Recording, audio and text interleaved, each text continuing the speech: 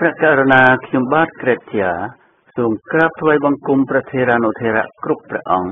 និងបងប្អូនជនរួមជាតិជាទីគោរពរាប់អានមុននឹងប្រជាពលរដ្ឋខ្មែរនាំគ្នាទៅបោះឆ្នោតនៅថ្ងៃទី28ខែកក្កដាឆ្នាំ2013បរិវត្តកាឈូតាមសម្លេងវិទ្យុរបស់ខ្លួនផ្សាយចេញពីទីក្រុងប៉ារីប្រទេសបារាំងរាល់ថ្ងៃសៅរ៍មួយសប្តាហ៍ម្ដងតាំងពីថ្ងៃទី9ខែវិច្ឆិកាឆ្នាំ2012មក បានអន្តងព្រលឹងខ្មែរដែលធ្លាប់តែទ្រាំរស់នៅក្នុងរបបផ្ដាច់ការអាយ៉ងយួនហ៊ុនសែនជាង30ឆ្នាំយ៉ាងជូរចត់រហូតដល់កម្រិតទ្រាំលែងបាន បានអង្រុនព្រលឹងនេះភ្ញាក់ស្រឡាំងកាំងពីការដេកលងលក់ទុះរកច្រកចេញដោយរកឃើញការបោះឆ្នោតជាច្រកចេញឆ្ពោះទៅរកចំណងនិងតម្រូវការរបស់ខ្លួនក្នុងការទម្លាក់របបដូររបបអាយ៉ងខូខើកញ្ជះយួនហ៊ុនសែន ក៏ប៉ុន្តែព្រលឹងនេះកំពុងតែភ្ញាក់ម្ដងទៀតដោយមិននឹកថាឆន្ទៈរបស់ខ្លួនត្រូវគៀងគឿងនៅត្រឹមឆន្ទៈរបស់មេដឹកនាំគណៈបកប្រឆាំងថាបដិញ្ញាប្រមូលប្រជាពលរដ្ឋធ្វើមហាបាតកម្មពេញផ្ទៃប្រទេសឬចាំចរចាជាមួយពួកកាន់អំណាចបកប្រជាជនកុម្មុយនីសកម្ពុជា ក្នុងនាមការសម្រុះសម្រួលជាតិនិងការជៀសវាងអំពើហិង្សា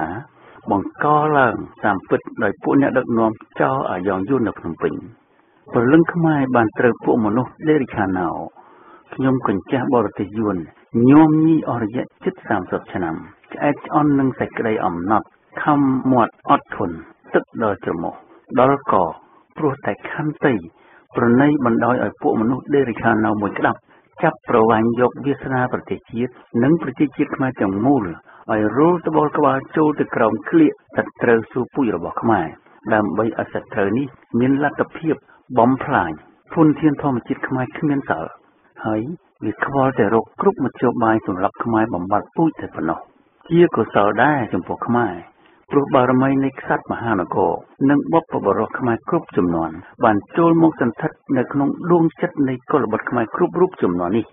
ទាំងនៅក្នុងស្រុកក៏ដូចជានៅក្រៅស្រុកឲ្យមើលឃើញសន្តានចិត្តខ្មៅក្រខ្វក់របស់ពួកមនុស្សដេរិឆានណៅទាំងនោះព្រមទាំងមហិច្ឆតាលោភលន់ចង់បានទឹកដីខ្មែរពីសំណាក់ចោយួនឆ្លៀនពៀនអន្តរថៃធ្វើឲ្យខ្មែរភ្លឺស្វាងយ៉ាងជាក់ស្ដែងតាមរយៈ ការងើបឡើងទាមទាររកយុត្តិធម៌ដល់សង្គមជាតិនាប៉ុន្មានសប្តាហ៍កន្លងមកនេះនេះសបញ្ជាក់ឲ្យឃើញថាទោះបីជាអាណានិគមនិយមយួនខំបង្ហិនបង្ហោចធ្វើឲ្យកូនខ្មែរខ្លោចសាលំបាកវេទនាយ៉ាងណាក្តីទោះបីជាពួកអាយ៉ងដេរិឆាណោខំប្រឹងបំបត្តិសិទ្ធិបំបិតមាត់កូនខ្មែរយ៉ាងណាក្តីក៏ប្រលឹងខ្មែរអង្គរនៅស្ថិតក្នុងរាងកាយខ្មែរជានិច្ច ហើយប្រលឹងនេះនឹងប្រើសតិដឹង និងបញ្ញាវិងវៃរបស់ខ្លួន ប្រមូលគ្នាជាប្រលឹងជាតិកំតិចនៅរាល់ឧបសគ្គគុំថាឡើយឧបសគ្គនោះជាកំភ្លើង ជារត់ក្រោះពីដែកក្តីបានន័យថាអំណះតទៅមុខកម្លាំងនៃប្រលឹងជាតិខ្មែរនេះ ជាជលករដ៏សំខាន់បង្កជាស៊ូណាមី ជាមហាបាតុកម្ម ជារលកដែលធ្វើឲ្យលិចលង់អំពើជីជនខ្មែរទាំងពួងលិចលង់ក្នុងអំពើឈ្លានពានទាំងពីទិសខាងកើតក៏ដូចពីទិសខាងលិចគឺបើមកពីមុខនឹងត្រូវរលំហើយបើមកពីក្រោយគឺនឹងត្រូវរលាយការងើបឡើងរបស់កម្លាំងមហាជនខ្មែរជាការតវ៉ាទាមទារសិទ្ធិសេរីភាពយ៉ាងត្រឹមត្រូវបំផុត គឺជាការទាមទារបុព្វសិទ្ធិរបស់ខ្លួន តាមច្បាប់រដ្ឋធម្មនុញ្ញខ្មែរផង តាមច្បាប់សិទ្ធិមនុស្សជាសកលផង ដោយមាត្រា36ចំពោះទី3អំពីសិទ្ធិនិងករណីយកិច្ចនៃប្រជាពលរដ្ឋខ្មែរដែលចែងថារាជាណាចក្រកម្ពុជាទទួលស្គាល់និងគោរពសិទ្ធិមនុស្សដោយមានចែងក្នុងធម្មនុញ្ញនៃអង្គការសហប្រជាជាតិសេចក្តីប្រកាសជាសកលស្តីពីសិទ្ធិមនុស្សនិងកតិកាសញ្ញាព្រមទាំងអនុសញ្ញាទាំងឡាយទាក់ទងទៅនឹងសិទ្ធិមនុស្សសិទ្ធិនារី និងសិទ្ធិកុមារ ប្រជាពលរដ្ឋខ្មែរមានភាពស្មើគ្នាចំពោះមុខច្បាប់ មានសិទ្ធិសេរីភាពនិងករណីយកិច្ចដូចគ្នាទាំងអស់ដោយឥតប្រកាន់ពូជសាសន៍ពណ៌សម្បោភេទសាសនាជំនឿសាសនានិន្នាការនយោបាយដើមកំណើតជាតិឋានៈសង្គមធនធានឬស្ថានភាពអាជីពឡើយការប្រើសិទ្ធិសេរីភាពផ្ទាល់ខ្លួនរបស់បុគ្គលម្នាក់ម្នាក់មិនត្រូវឲ្យប៉ះពាល់ដល់សិទ្ធិសេរីភាពអ្នកដទៃឡើយការប្រើសិទ្ធិសេរីភាពនេះ ត្រូវប្រព្រឹត្តតាមលក្ខខណ្ឌកំណត់ក្នុងច្បាប់ក្នុងន័យនេះបុគ្គលហ៊ុនសែនបានបង្ហាញតាមការប្រកាសថានឹងប្រើសិទ្ធិរបស់ខ្លួនធ្វើបាតកម្មតទល់នឹងមហាបាតកម្មរបស់ប្រជាពលរដ្ឋខ្មែរនៅពេលណាដែលបាតកម្មនេះផ្ទុះឡើងតាមសេចក្តីគ្រងរបស់គណៈបកប្រឆាំងនោះដោយដឹងថាខ្លួនមិនអាចកែនឬទិញមនុស្ស ឲ្យបានចំនួនច្រើនសន្ធឹកសន្ធាប់យកមកទប់ទល់ប្រឆាំងមហាបាតកោនៅទីក្រុងភ្នំពេញដែលជាទីខ្លួនចាញ់ឆ្នោតគណៈបកប្រឆាំងដែលឆ្ងាយនោះទើបខ្លួនចល័តទ័ពពីខេត្តខាងកើតទន្លេមេគង្គយកមករាយតាមផ្លូវនិងក្នុងវត្តក្នុងវត្តអារាមដើម្បីគម្រាមបំផិតបំភ័យប្រជាពលរដ្ឋទៅវិញដោយយកលេសថាចល័តមកទប់ទល់នឹងទឹកចំនួនជាយថាហេតុទៅវិញបរោះដែលអួតអាងថាខ្លួនខ្លាំង បានបញ្ជាឲ្យសាច់ទ័ពខ្ញុំបំរើរបស់ខ្លួនឲ្យបង្ខំប្រជាពលរដ្ឋនិងប្រសង់ផ្តិតមេដៃព្រមទទួលស្គាល់លទ្ធផលនៃការបោះឆ្នោតកេងបំបត្តិរបស់ខ្លួនបើពុំនោះទេនឹងត្រូវដេញចេញពីវត្តគេសង្ស័យថាសាច់ទ័ពដែលចល័តចូលក្រុងនេះច្រើនតែជាយួនព្រោះបរិសុខ្លាំងមិនទុកចិត្តទ័ពខ្មែរនៅភ្នំពេញទេ ហើយថែមទាំងឲ្យសខេងដកអាវុធពីពួកនេះអស់ទៅទៀតហ៊ុនសែនច្បាស់ជាដឹងថាទាហាននៅភ្នំពេញ មិនអាចតម្រង់កំភ្លើងបាញ់ប្រជាពលរដ្ឋខ្មែរដែលនៅក្នុងនោះមានទាំងសាច់សារលោហិតរបស់គេផងឡើយទើបដឹកទ័ពយួនស្លៀកពាក់ឯកសន្តានខ្មែរឲ្យមកចាំបង្ក្រាបខ្មែរទៅវិញនេះជាទង្វើក្បត់ជាតិថ្មីមួយទៀតដោយនាំយួនចូលមកក្នុងស្រុកខ្មែរដើម្បីមកសម្លាប់ខ្មែរបើនិយាយអំពីមធ្យោបាយក្រោយការបោះឆ្នោតវិញហ៊ុនសែនបានរៀបចំយ៉ាងល្អនៅមណ្ឌលណាដែលមិនមានការកេងបន្លំ ដើម្បីឲ្យអន្តរជាតិទៅធ្វើការពិនិត្យនិងទទួលស្គាល់ថាសេរីនិងយុត្តិធម៌រួចជាស្រេចទោះបីជាយ៉ាងនេះក្តីក៏មហាអំណាចដូចជាសហរដ្ឋអាមេរិកនិងសហគមន៍អឺរ៉ុបមិនទទួលស្គាល់ពេញលេញដែរហ៊ុនសែនមិនពេញចិត្តនឹងអង្គការសហប្រជាជាតិនិងសហរដ្ឋអាមេរិកនិងសហគមន៍អឺរ៉ុបទេហើយមូលហេតុគឺដោយសារវិទ្យុសម្លេងសហរដ្ឋអាមេរិក និយាយការពិតត្រង់ត្រង់អំពីរដ្ឋាភិបាលរបស់ខ្លួនចំចំពេកគឺបើកកកាយការពិតនៃការគ្រប់គ្រងរបស់ខ្លួនឲ្យប្រជាពលរដ្ឋខ្មែរដឹងទាំងអស់ហ៊ុនសែនដឹងខ្លួនថាខ្លួនកំពុងតែប្រព្រឹត្តអំពើអាក្រក់ដូច្នេះខ្លួនត្រូវតែធ្វើយ៉ាងណា ដើម្បីកុំឲ្យពួកមហាអំណាចនិងសហគមន៍អន្តរជាតិរួមដៃជាមួយបកប្រឆាំងកំចាត់អំពើអាក្រក់របស់ខ្លួនបានហ៊ុនសែនដែលជាស្ដេចកនបង្កើតស្ដេចនោះ បានបង្ខំឲ្យស្ដេចម៉ែប្រកាសលទ្ធផលនៃការបោះឆ្នោតប្រថាប់ត្រាអាណត្តិទី5នេះធ្វើឲ្យស្ដេចដែលមិនធ្លាប់បានទទួលការខុសត្រូវលើប្រជាពលរដ្ឋព្រះអង្គភៀសព្រះអាយុទៅស្រុកចិនទៅចំពេលដែលចិនកំពុងតែរកចាប់ចរន្តនយោបាយណាមួយ ដែលអាចជាកូនជើងរបស់គេទៅអនាគតនៅពេលណាដែលគេហក់ចូលមកប្រើកម្លាំងបាយដេញយួនចេញពីកម្ពុជានោះក្នុងទង្វើប្រឈមមុខនឹងសហគមន៍អន្តរជាតិនេះ ហ៊ុនសែនត្រូវការពឹងយួនផងពឹងចិនប្រកាសណាស់ផងពឹងយួនចវាយគឺជាការធម្មតារបស់អាយ៉ងហ៊ុនសែនទៅហើយហើយឯរឿងទៅពឹងចិននោះគឺមិនទាំងចាំបាច់រត់ទៅពឹងគេផងព្រោះគេបានហក់ចូលមកដោយមិនចាំបាច់ហ៊ុនសែនអញ្ជើញផងយកប្រាក់រាប់កោតដុល្លារមកចងកហ៊ុនសែនជាប់ស្ញែងបាត់ទៅហើយព្រោះគេមានបំណងរាប់មកសងសឹក ប្អូនតូចវៀតណាម ដែលធ្លាប់សោយគូដាក់គេ ក្នុងការបំបាក់កូនជើងខ្មែរក្រហមរបស់គេ ហើយនឹងមានបំណងមកជំនួសប្អូនតូចនេះនៅកម្ពុជាទៀតដោយជ្រើសរើសរកកូនជើងថ្មីរបស់គេ គឺក្នុងការនេះផងកូនជើងថ្មីនេះទៀតក៏វាមិនមែនជាហ៊ុនសែនដែលជាកូនជើងដាច់ថ្លៃរបស់យួននោះឡើយគឺគ្រួសារស្ដេចឯនោះទៅវិញទៅដឹងតើប្រជាពលរដ្ឋខ្មែរមាននឹកចង់យល់ពីកលៈទេសៈ ដែលស្ដេចផែនស្កនិងស្ដេចម៉ែប្រាស់ព្រះអង្គទាំងពីរទៅស្រុកចិនក្នុងពេលដែលប្រជាជាតិត្រូវការព្រះអង្គឲ្យប្រើសិទ្ធិពេញច្បាប់តាមរដ្ឋធម្មនុញ្ញតម្រូវឲ្យមនាលស្ដេចបង្កើតស្ដេចឈ្មោះបរិសុខ្លាំងតែតែជាមួយគ្នាឯងហ៊ុនសែនបញ្ឈប់ការចល័តទ័ពពេញក្រុងឲ្យរៀបរយឡើងវិញដើម្បីឲ្យអន្តរជាតិចូលមកធ្វើអន្តរាគមតាមសំណុំពរស្ដេចផែនដីមែនទែនទេឥឡូវនេះ ស្ដេចផែនដីសុំភៀសប្រកាយទៅថែប្ររោគដែលគេសង្ខ័យថាជារោគយួនធ្វើទុកនោះតើប្រជាពលរដ្ឋនៅសល់ពុំនឹងអ្វីទៀតក្រៅតែពីប្រើវិចារណញ្ញាណប្រើប្រលឹងសន្ធិដ្ឋរបស់ដូនតាខ្លួនចេញមុខប្រឆាំងនឹងអំពើអយុត្តិធម៌ក្នុងសង្គមជាតិទៅនេះប្រឆាំងតទល់នឹងអាណានិគមយួនដោយបាតដៃទៅទេនោះទោះបីជាសហគមន៍អន្តរជាតិមិនទាន់បង្ហាញនៅការគ្រប់គ្រងពេញទំហឹង និងចេញមុខជាក់ស្ដែងដើម្បីអនុវត្តឆន្ទៈរបស់ប្រជាពលរដ្ឋខ្មែរក្នុងការផ្លាស់ប្ដូររបបរាជាកុម្មុយនីសនេះចេញក្តីក៏ប្រលឹងសន្ធិដ្ឋក្នុងប្រជាជាតិភ្ញាក់រលឹកខ្មែរនាពេលបច្ចុប្បន្ននេះនៅតែពុះពោខ្លាំងក្លាមិនអាចចុះថមថយដោយសារការគំរាមបំផិតបំភ័យហួសសម័យកាលបែបពួកអាយ៉ងកំពុងតែប្រព្រឹត្តនោះទេទុយទៅវិញការបំផិតបំភ័យនេះរឹតតែបង្កឲ្យសេចក្តីក្តៅក្រហាយ ឡើងអង្សារកាន់តែខ្ពស់ឡើងខ្ពស់ឡើង ចាំតែថ្ងៃពុះដូចទឹកពុះប៉ុណ្ណោះទេ ហើយដែលនឹងក្លាយទៅជាកម្លាំងខ្លាំងមហិមាប្រៀបបានទៅនឹងកម្លាំងស៊ូណាមីគំតិចអ្វីៗទាំងអស់ដែលប្រឈមមុខវាគឺមានកម្លាំងអាវុធប្រឡាយជីបណាទប់ឈ្នះឡើយដូច្នេះគួររដ្ឋាភិបាលអាយ៉ងលមមដឹងខ្យល់ដែលបក់មកពីបណ្ដាប្រទេសអារ៉ាប់នៅមជ្ឈមបូព៌ាដល់ប្រទេសអាស៊ីអាគ្នេយ៍ហើយ ចូលគុំប្រាថ្នាចង់បានវាសនារបស់ខ្លួនដោយពួកមេដឹកនាំកាដាហ្វីបិនអាលីឬមូបារ៉ាក្រែងគ្មានថ្ងៃស្ដាយក្រោយឲ្យសោះការជ្រើសរើសអនុលោមតាមឆន្ទៈប្រជាជាតិខ្មែរ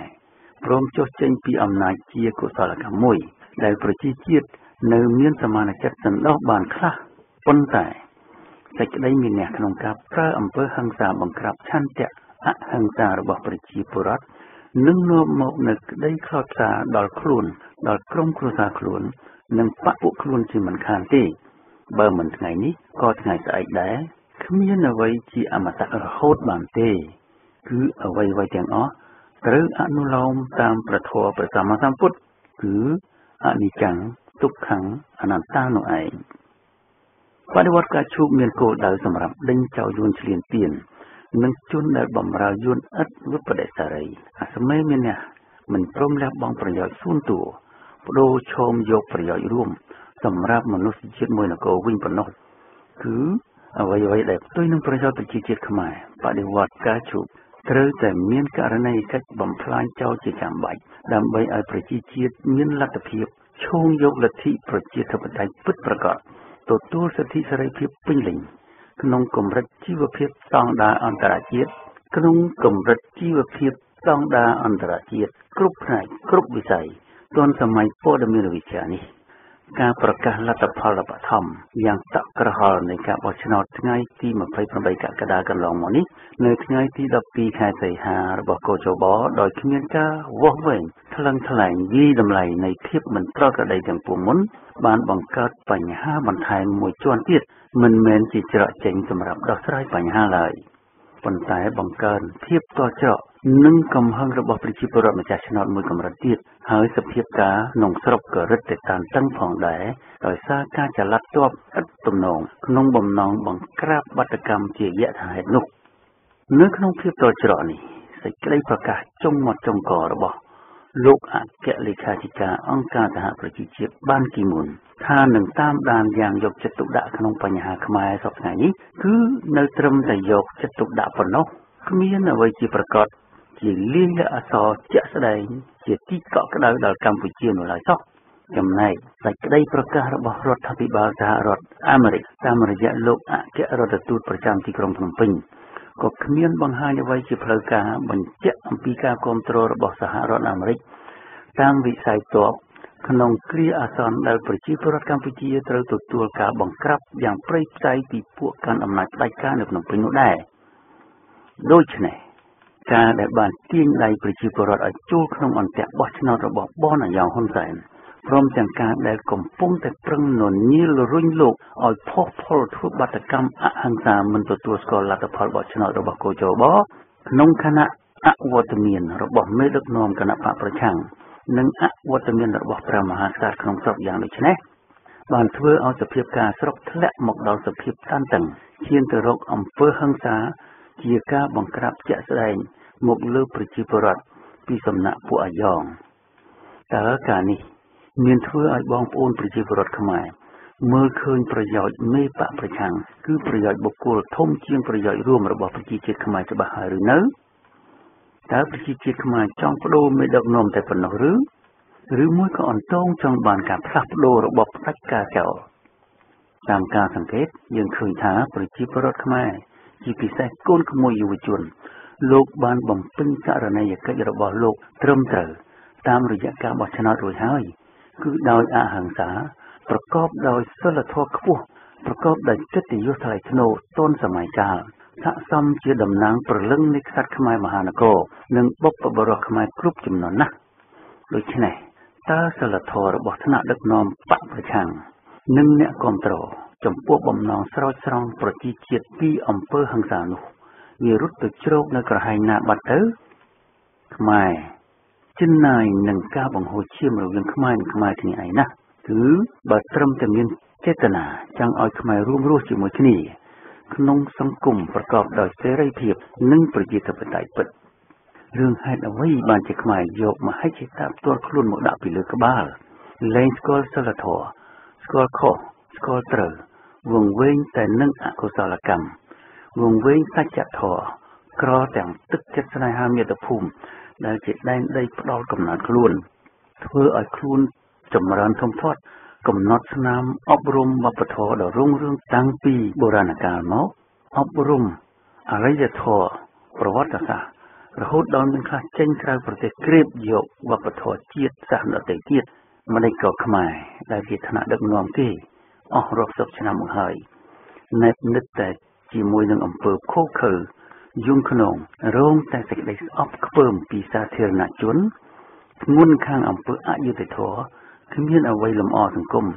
ក្រៅអំពីកេងប្រវ័ញ្ចឆ្ងាញ់តែនឹងអំពើពុករលួយពួយរលុកដេកមិនស្រណុកធ្វើទុកតែគ្នាឯងធ្វើឲ្យខ្មែរចំបែងតែពីអស្ថិរភាព មានតែថ្ងៃចុះដណ្ដើមយ៉ាងដូចនេះបើចរិតលក្ខណៈរបស់ថ្នាក់ដឹកនាំខ្មែរបច្ចុប្បន្ននៅតែរបៀបនេះ តើពាក្យដែលបដិវត្តការឈូកពោលថាជាចរិតពីលជាចរិតរបស់មនុស្សដេរិខាណោមានអត្ថន័យត្រឹមត្រូវខ្លះទេគួរថ្នាក់ដឹកនាំដែលមហាជនខ្មែរបំពាក់ងារជាខ្ញុំបំរើបរទេសយួនដាច់ថ្លៃនោះ ពិចារណាគិតមើលខ្លួនឯងទៅម្យ៉ាងទៀតខ្មែរដែលនៅសល់ព្រលឹងជាតិព្រលឹងជាតិនិយមដែលរក្សាគេដំណើរដូនតាបាន មិនទាន់ខ្វះមធ្យោបាយឬនយោបាយជាតិនិយមដើម្បីរំដោះជាតិពីក្រញាំបរទេសជាតិឆ្ងាយ បាននោះដែរតើព្រោះការប្រើអំពើហិង្សាចេញមុខបង្ក្រាបប្រជាពលរដ្ឋដែលធ្វើបាតកម្មអហិង្សា ជាអំពើកំរោលមិនគប្បីប្រព្រឹត្តគឺជាអំពើប្រឆាចសិលធម៌ប្រឆាចមនុស្សធម៌មានតែមនុស្សដេរិឆាណោទេ ដែលយកវិធីនេះមកប្រកាសគ្មាននរណាគេសរសើរឬរាប់អានឡើយហើយបើគង់តែឈ្នះដើម្បីនឹងចាញ់ទៅវិញទៅក្នុងអនាគតដ៏ខ្លីនោះ តើគួរយកខួរមកពិចារណាឡើងវិញឲ្យបានដិតដល់ឬទេតើគួរពិចារណាឡើងវិញឬទេថាការធ្លួយខ្លួនคล้ายទៅជាខ្ញុំបំរើបរទេសយួនទោះបីជាការនេះបានធ្វើឲ្យខ្លួនឲ្យគ្រួសារខ្លួនឲ្យបាក់ពួកខ្លួនคล้ายទៅជាមហាសេដ្ឋីរៀងរៀងខ្លួនទៅហើយនោះដោយមិនអនុញ្ញាតឲ្យមនុស្សមួយនគររស់ក្នុងភាពថ្លៃថ្នូរដោយស្មើភាពគ្នាចំពោះមុខច្បាប់បែបនេះនឹងនាំមកនៅវិនិស្សកម្មនៅសេចក្តីអន្តរាយ រលាយទ្រព្យរលាយកាយនៅក្នុងអនាគតខ្លីក្រោមអនុភាពនៃរលកពុះកញ្ជ្រោលជាស៊ូណាមីទាមទារផ្លាស់ប្ដូររបស់ប្រជាជាតិខ្មែរយ៉ាងឆាប់មិនមានកម្លាំងអ្វីទប់ឈ្នះផងទេ យើងជាខ្មែរមានឈាមជ័រជាខ្មែរដូចគ្នានិយាយភាសាតែមួយដូចគ្នាសោះហេតុដូចម្ដេចក៏ព្រមចំណោះបរទេសស្ដាប់តែបញ្ជាពីគេដូចក្មេងបៀមដៃគ្មានថ្ងៃខ្លាយជាមនុស្សពេញវ័យសោះដូច្នេះតើយើង មានដែលឆ្លោះកញ្ចក់មើលមកខ្លួនឯងទេឆ្លោះមើលរកកន្លែងណាដែលខ្លួនយើងអួតថាខ្លួនយើងខ្លាំងនោះតើភាពជាអ្នកបម្រើបរទេសជាចំណុចខ្លាំងមែនឬឬក៏ជាជំងឺដែលយើងត្រូវតែព្យាបាលហើយបើវាជាជំងឺទេនោះគឺគ្មានអ្វីប្រសើរជាងការរលាស់ខ្លួនចេញឆ្ងាយពីវាឡើយរីឯការព្យាបាលរោគឧត្តបាតនេះគ្មានអ្វីក្រៅពីការគោរពឆន្ទៈរបស់ប្រជាពលរដ្ឋរបស់ប្រជាជាតិឡើយ ការដែលពួកខ្លួនមិនបានផ្ដល់សន្តិសុខផ្ដល់សុវត្ថិភាពក្នុងសង្គមហើយបែរជាបង្កអស្ថិរភាពវិញយ៉ាងនេះมันអាចឲ្យប្រជាពលរដ្ឋគ្រប់គ្រងលើកតម្កើងបានទេ មានតែការព្យាយាមធ្វើឲ្យសវត្ថភាពនិងស្ថិរភាពក្នុងសង្គមប៉ុណ្ណោះដែលត្រូវនឹងឆន្ទៈនិងចិត្តប្រជាពលរដ្ឋប៉ុណ្ណោះ ហើយដែលធ្វើឲ្យប្រជាពលរដ្ឋពេញចិត្តព្រមទទួលរួមរស់ប្រដំប្រសងជាមួយរបបបាន គឺមិនមែនជារបបផ្ដាច់ការក្រោមក្បាលវ៉ាល់បុគ្គលម្នាក់ឬបុគ្គលមួយស្ដាប់តូចឬរបបសក្តិភូមិហួសសម័យឬរបបយោធានិយមក្រមចំកណ្ដុងដែលប្រជាពលលោកក្នុងសម័យនេះគេលែងយកខ្លួនបៀតទៀតហើយឡើយហើយដែលគេតែងតែរកមធ្យោបាយជៀសចេញឆ្ងាយជានិច្ច ប៉ុន្តែគឺជារបបដែលនៅក្នុងនោះគេមានសិទ្ធិសេរីភាពគ្រប់បែបគ្រប់យ៉ាង តាំងពីការបញ្ចេញមតិយោបល់តាំងពីការអប់រំខ្លួនគេ និងកូនចៅគេលក្ខនឹងលក្ខរហូតដល់សិទ្ធិចូលរួមក្នុងកិច្ចការនយោបាយរបស់ស្រុកគេផងគឺជារបបប្រជាធិបតេយ្យពិតប្រាកដនេះឯងបដិវត្តការជួបសូមរំលឹកបងប្អូនជនរួមជាតិថា ប្រភពនៃបញ្ហារបស់ខ្មែរមិនមែនខ្មែរគ្នាយើងទេ ហើយខ្មែរដែលបានធ្លាក់ខ្លួនដោយចេតនាឬដោយអចេតនាទៅបម្រើបរទេសយួនគ្រាន់តែជាឧបសគ្គចម្បងមួយ ដែលប្រភពនៃបញ្ហារបស់យើងវាជាអ្នកបង្កើតបង្កាត់មកដាក់លើកយើង ដើម្បីឲ្យយើងនាំគ្នាក្រាបបំរើផលប្រយោជន៍របស់វាព្រមទទួលរួមរស់ជាមួយអំពើជីជនរបស់វារហូតដល់ថ្ងៃអវសានតែប៉ុណ្ណោះគួរយើង រមិលមើលឲ្យឃើញច្បាស់អំពីយុទ្ធសាស្ត្ររបស់ពួកកុម្មុយនីសផ្ដាច់ការដែលកំពុងតែប្រើមធ្យោបាយក្តៅដូចជាចេញទ័ពសម្លុតស្មារតីប្រជាពលរដ្ឋខ្មែរជាក់ស្ដែងស្រាប់នាពេលបច្ចុប្បន្ននេះនិងគឺក្នុងពេលដែលពួកគេស្ថិតក្នុងស្ថានភាពចុះខ្សោយនិងយុទ្ធសាស្ត្រត្រជាក់ដូចជាមានចេតនាចរចាក្នុងនាមនៃការសម្រុះសម្រួលជាតិជាដើមយុទ្ធសាស្ត្រមឹងម៉ាត់របស់ពួកគេទាំងពីរនេះ ធ្លាប់បាននាំមកនៅជោគជ័យរបស់គេកន្លងមកហើយហើយក៏ជាយុទ្ធសាស្ត្រដដែលដែលគេកំពុងតែអនុវត្តផងដែរព្រោះតែខ្មែរនិងសហគមន៍អន្តរជាតិនាំគ្នាដាក់ជំនឿលើការបង្រួបបង្រួមជាតិតាមសន្តិវិធីនោះឯងបំណងប្រើសន្តិវិធី គឺជាបំណងរកសន្តិភាពពិតមែនហើយក៏ប៉ុន្តែសន្តិភាពមិនមែនបានមកដោយគ្រាន់តែមានបំណងតែប៉ុណ្ណោះទេ គឺត្រូវការតស៊ូមុំណាស់ដើម្បីឲ្យបានមកដូចជាភាសាបារាំងគេតែងថា pour avoir la paix il faut faire la guerre ដូច្នេះអីចឹងខ្មែរយើងដែលចង់ជៀសការតស៊ូឬជៀសសង្គ្រាមអាចរកសន្តិភាពឃើញទេបើគ្រាន់តែនាំគ្នាបង្ហាញត្រឹមតែបំណងសន្តិភាពរបស់ខ្លួនតាមរយៈការនាំគ្នាបួងសួងរាប់រយនាក់នៅមុខរមណីយដ្ឋានវត្តភ្នំ ឬនៅមុខវាំងដូចក្នុងគ្រានេះនោះ ក្នុងពេលដែលយើងនៅជាប់ជើងនឹងដីនៅឡើយគួរតែយើងពិចារណាអំពីភាពប្រកបនិយមរបស់យើងឲ្យបានស៊ីជម្រៅបន្តិចផងព្រោះយើងត្រូវដឹងថាដើម្បីឲ្យបានសន្តិភាពគេត្រូវឲ្យគូភាគីពីរដែលប្រឈមមុខគ្នាទទួលយល់ព្រមទាំងសងខាងចុះបើមហាជនខ្មែរចង់រកដំណោះស្រាយតាមសន្តិវិធី ចំណែកពួកក្តាប់អំណាចយកអាវុធមកធ្វើជាដំណោះស្រាយតើសន្តិភាពអាចកើតមានបានទេ ដូច្នេះខ្មែរចាំបាច់ត្រូវតែងើបឡើងតស៊ូគឺតស៊ូដោយអហិង្សា គឺឈប់បណ្ដោយឲ្យប្រលឹងសន្ធិដ្ឋរបស់ដូនតាយើងស្រុតទុនជ្រាយទៅវិញដោយសារតែត្រឹមបំណងសន្តិភាពនោះ គឺត្រូវចាប់ដៃគ្នាស្មាទល់នឹងស្មាតា មរយៈការធ្វើបដកម្មអហិង្សាឲ្យចេញជារូបរាងជាក់ស្ដែងឡើងខណៈណាដែលសហគមន៍អន្តរជាតិសម្រេចច្បាស់លាស់ជាលេខលក្ខអសចេញមុខមកគ្រប់គ្រងសកម្មភាពនេះឱកាសមកដល់ហើយដើម្បីឲ្យខ្មែរធ្វើបដិវត្តនេះជាការប្លន់យកអំណាចដោយរបបក្បត់ផ្ដាច់ការអាយ៉ងហ៊ុនសែនប្រជាជាតិខ្មែរមិនត្រូវប្រគល់អំណាចខ្លួនឲ្យអ្នកដឹកនាំខ្មែរក្បត់ជាតិជាដាច់ខាត ប្រជាជាតិខ្មែរត្រូវងើបបះបោដេញអាណានិគមនិយមយួនឲ្យចេញផុតពីស្រុកខ្មែរទម្លាក់ហ៊ុនសែនឲ្យចេញពីអំណាចប្រជាជាតិខ្មែរជាពិសេសយុវជនត្រូវរៀបរៀងហ៊ុនសែនដែលអស់អំណាចកុំឲ្យបង្កើតរដ្ឋសភានិងរដ្ឋាភិបាលបានជាដាច់ខាតប្រជាជាតិខ្មែរត្រូវប្រគល់អំណាចបណ្ដោះអាសន្នឲ្យក្រមប្រឹក្សាជាតិអន្តរកាលនៅថ្ងៃទី23ដុល្លារ2013ជាថ្ងៃនិមិត្តរូបនៃសេរីភាព ក្រមប្រឹក្សាជាតិអន្តរកាលនឹងត្រូវរៀបចំការបោះឆ្នោតឡើងវិញរើសសភាធម្មនុញ្ញឲ្យបានដើម្បីឲ្យរដ្ឋសភាថ្មីបោះឆ្នោតលុបសិទ្ធិសញ្ញាក្បត់ជាតិនានាជាមួយយួនចោលចេញនៅថ្ងៃ7មករា2014ជាថ្ងៃនិមិត្តរូបនៃការរំដោះមាតុភូមិខ្មែរ មានកិច្ចការធ្វើបដិវត្តការជូទេក្នុងក្របខ័ណ្ឌកិច្ចព្រមព្រៀងប៉ារី23ដុល្លារ1991នេះទេដែលអាចរំដោះប្រទេសកម្ពុជាចេញពីយួនបាន រំលំរបបផ្ដាច់ការហ៊ុនសែនបកប្រជាជនបានទើបបន្ទាប់មកអាចកសាងស្ថាប័នឯករាជ្យនិងអនុវត្តលទ្ធិប្រជាធិបតេយ្យបាន។